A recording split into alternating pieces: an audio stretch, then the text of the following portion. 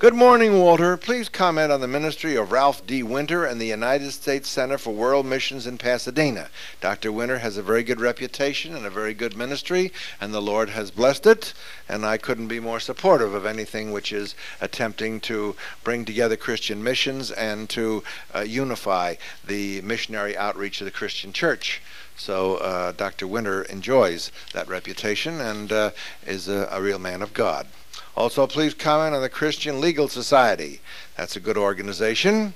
And whether Simon Greenleaf is affiliated with this society in any capacity. I believe Simon Greenleaf is affiliated with it because Dr. Montgomery is affiliated with it, and he's the dean of Simon Greenleaf. So, if no other way, we would be affiliated uh, with them. But uh, the Christian Legal Society has a good reputation, and uh, I'd like to see more Christian lawyers in it like to see more Christian lawyers, period. We need all the help we can get in the legal business. That takes care of last week's, now for this week.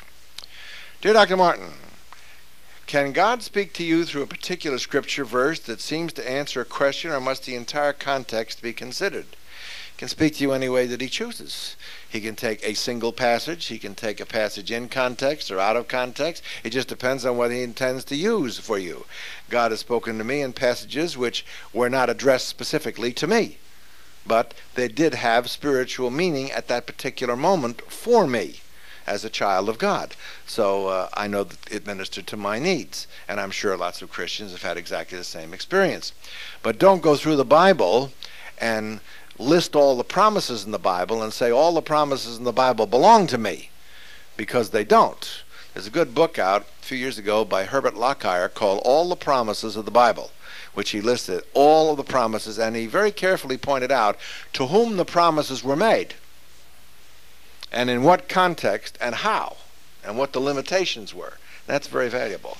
Uh, if you can get it, it's I think it's still in print. It's called All the Promises of the Bible. Herbert Lockyer. It's published, I believe, by Zondervan. Lockyer's name is L-O-C-K-Y-E-R. He's the kind of uh, ministry I want to have at the end of my life. I last saw him in San Diego at the age of 95, and he was standing straight as an arrow. He didn't need a cane to walk. He wore eyeglasses and a hearing aid, and apart from that, uh, you would never know that he was 95. He looked about 65.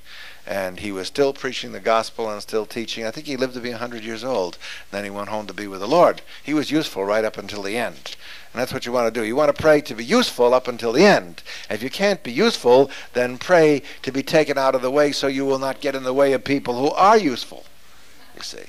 Because an awful lot of. Uh, uh, people grow older in the ministry and uh, they become boring, repetitious, and people just tolerate them because they're dear old saints. Uh, actually, old pastors never die, they just go out to pastor.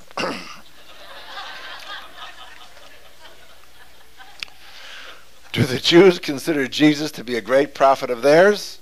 Or are they hostile to Jesus not only as God, but as anyone they would listen to? Depends on which ones you talk to. Uh, I've talked to a lot of uh, rabbis who have a very high view of Christ as a prophet.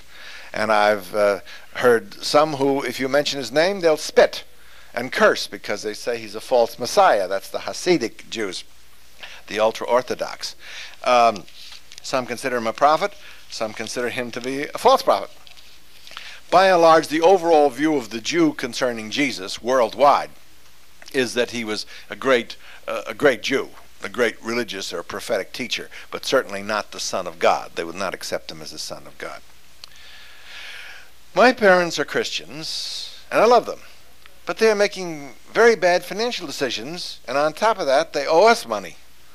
Mom said, so I can see where you would have a problem right away. Mom says she prays and the Lord confirms her decisions, but I don't see much evidence of consulting Scripture. It's hard for me to disagree with them because we usually argue. But I hate to see what these decisions will do to my sisters and brothers at home. No clothes, no beans for a week, etc. Would it be right for me to say anything? Yeah.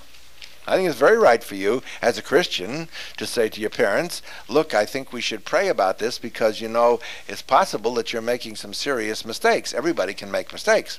Now, parents do not generally take advice from children if for no other reason that they hate to admit that the kid's right.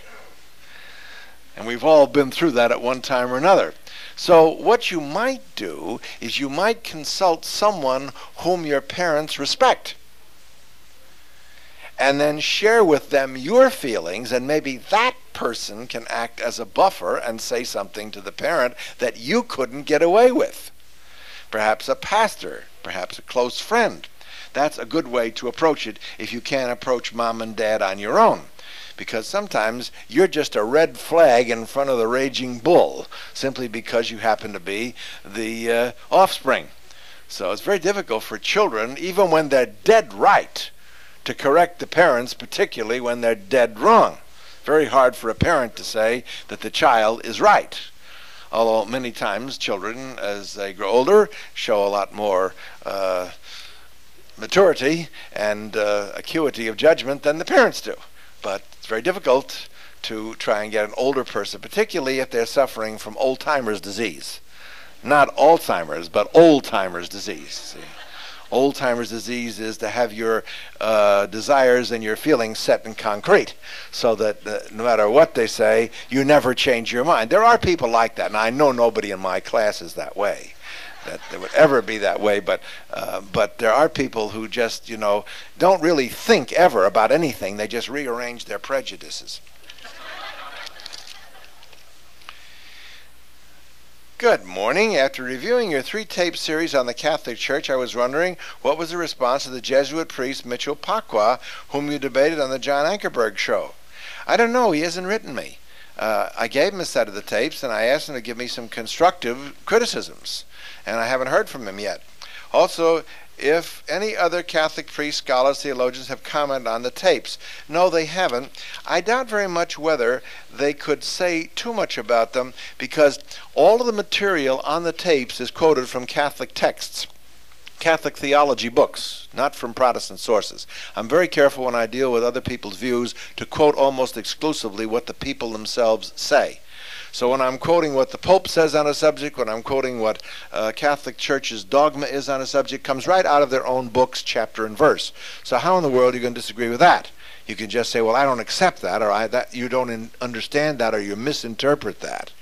But uh, Pacwa and I got along fine. In fact, if Pacwa came to this class and preached on a Sunday morning sermon, he's a charismatic Catholic, you'd be blessed out of your socks because he loves the Lord, he preaches the gospel, he witnesses. I wonder how long he can stay in the Catholic Church acting the way he is because he makes no mistake about his convictions. Uh, and his uh, love of Christ. But he is bound to the Catholic system of theology. And I told him that. I said, regardless of your great intellect and your abilities and your education, whatever it may be, you're still bound by authority. He said, Yes, I'm bound by authority to the church. I said, Right, I'm not. I'm bound by authority to the Scripture and to the Spirit. And I said, and you are bound by a higher authority than the church, because the Holy Spirit is above the church. Now, he doesn't have any response to that because the Holy Spirit is above the church.